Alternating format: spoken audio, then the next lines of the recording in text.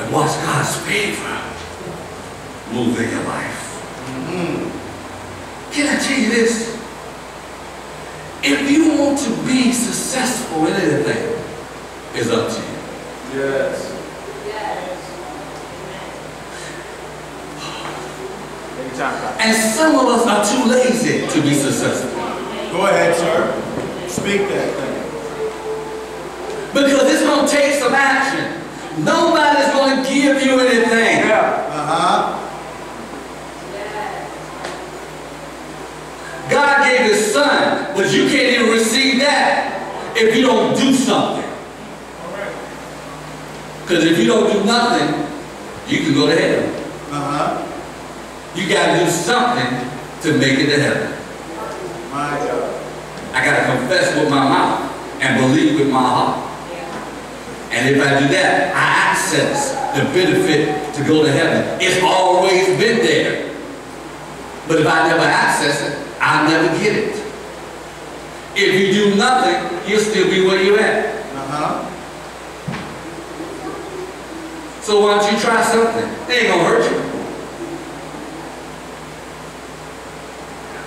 Because the more you say it, the more you believe it. The more you believe it, the more you're gonna say it. From the abundance of the heart, the mouth speaks. But from the mouth speaking is where the abundance of the heart comes from. The Bible says faith comes by hearing and hearing the word of God. If faith is going to come from the abundance of my heart, I got to first put faith in my heart. Uh-huh. And I put it in my heart by hearing it and by saying it. Yes. Because I need to hear myself say God's word so it can get in my heart. When enough of it gets in my heart, when I get in trouble, my heart speaks with the word. Yes. So if I'm in a terrible predicament right now, doing nothing ain't gonna change it.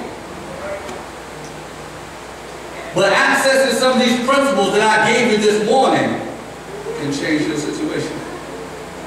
But it won't change it if you don't do nothing. And I'm of this persuasion. If you're not gonna lose anything, why don't you try it? Yes. It can't get no worse.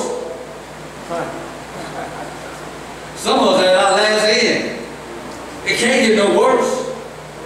You done already did what, what Reverend Clay Evans said. You done reached beyond the break mm-hmm. and grab the rope. You can't do nothing else. Try God. Try God. Yes. Access God. Let me go to my last weapon for today. Go with me to Nehemiah. Nehemiah chapter 8, verse 10.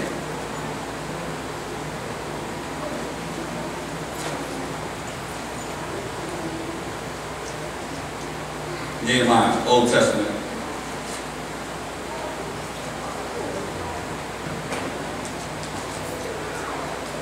Before the book of Psalms. Nehemiah chapter 8, verse 10. When you have it, say amen. And it reads, Then he said unto them, Go your way, eat the fat, drink the sweet, send portions unto them for whom nothing is prepared. For this day is holy unto our Lord. Neither be ye sorrowed, for the joy of the Lord is our strength.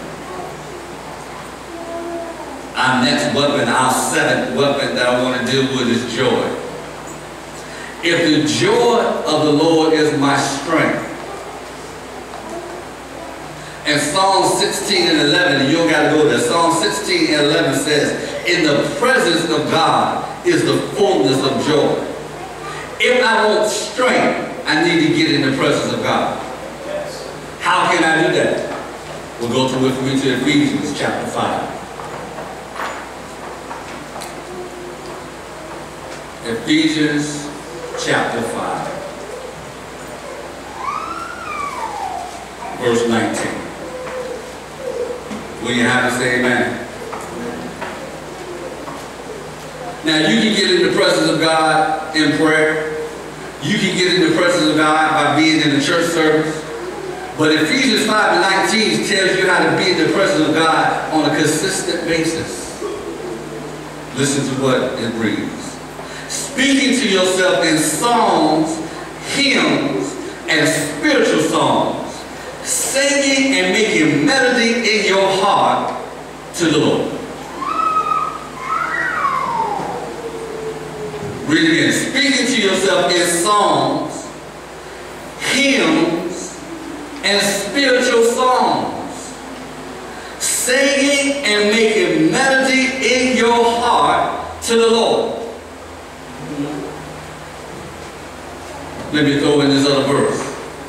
The Bible says God inhabits the praises of his people. You are his people. Will you begin to sing to yourself hymns, songs, spiritual songs, and make melody in your heart, God comes in the midst. And when he's in the midst is the fullness of joy. And in the fullness of joy is your strength. That's why I question what you listen to. Because if you ain't making melody to God, he ain't in the midst. And if he ain't in the midst, there ain't no joy. And if there ain't no joy, you don't have no strength.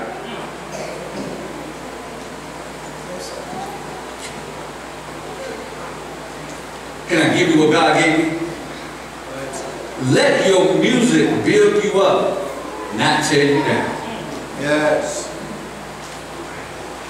You're beeping, you're jumping, you're doing all that, but is it building you up? You heard all the chords being played, but is it building you up? Because when you get close with God, God will give you a, Bible says he will give you a new song. Uh-huh. You in prayer, he'll give you a song. May not have no tune, may not even know how to play it, but he'll give you a song. And you'll sing it in your heart. That's why I question artists who want to pull a secular song and make it gospel. Because that's not making melody to God. The intent of it was not making melody to God. And when I hear it, see, most of us, some of us are not old school, some of you don't know what the old songs was. But when I heard it, I don't hear Jesus. I heard what the original intent was. And it's hard for me to worship when the original intent didn't have anything to do with worship. Is your music building you up? Or is your music tearing you down? Because with the right music, you make melody in your heart. God comes in the midst. And where he is, there is strength. That's why when I'm going through, I can pull up a hymn and begin to sing with him and gain strength from the hymn. I'm going through and I can sing, precious Lord, take my hand, lead me on, let me stand. I can say how great thou art. I can say songs like that. And it gives me strength because I'm making melody in my heart to God and nobody else. And it brings his presence. And in the midst of his presence comes joy. What you singing? Is it bring you into joy? What you singing? Is it bring you into strength? And some of this stuff we call gospel ain't gospel. Because it brings God's no honor. Go ahead, sir. Uh-huh. I don't understand what Mary Mary is walking to. They're walking somewhere, but I don't know where they're walking to. Me and Kurt can't see eye to eye because I can't see you. Don't let a hook hook you. You got to understand, when people write songs, they write hooks. That's what it's called. It's a hook because it hooks you. It's a melody that all you heard is the melody because it's the hook. And the hook makes you go get the song.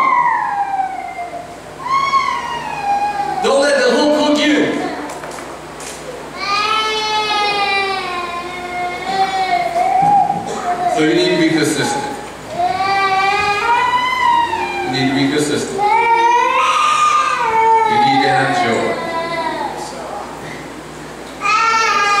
And you need to watch what is coming out of your mouth. If you notice, and I'm closing, the weapons of God's warfare, they go hand in hand. If I am consistent with what is coming out of my mouth, I will have joy. Yes. So you need to examine yourself. Some stuff you ain't gonna give up right away. That's right. It's gonna take a little bit of time. But examine yourself and ask yourself the question. Is it really benefiting me? Does this give me joy? Or does it just give me a simple, uh, short, temporary high? That I gotta keep listening to it to keep the high. Because the songs God gives you, the hymns, the songs, the spiritual songs, they don't just give you a high. They give you encouragement to face the next day. Yes.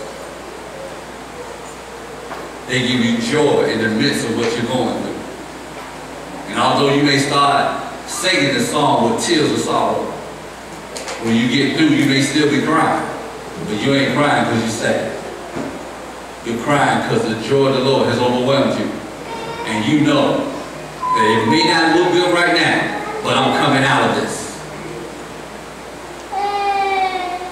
Use your weapons. Be beneficial for you, for the building up of your spirit man, and not the tearing down of your spirit man. Rest to your feet all over.